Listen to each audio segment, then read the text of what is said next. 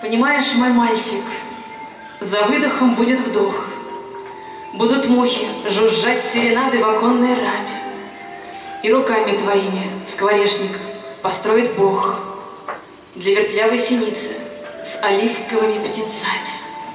Твой апрель пахнет хвоей и липкой древесной смолой, И сосновые ветви рассованы по карманам.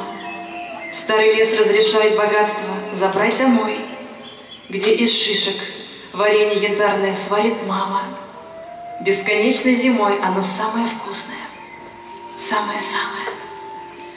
Понимаешь, мой милый, за годом последует год, Акварель выцветает на солнце, и блекнут краски.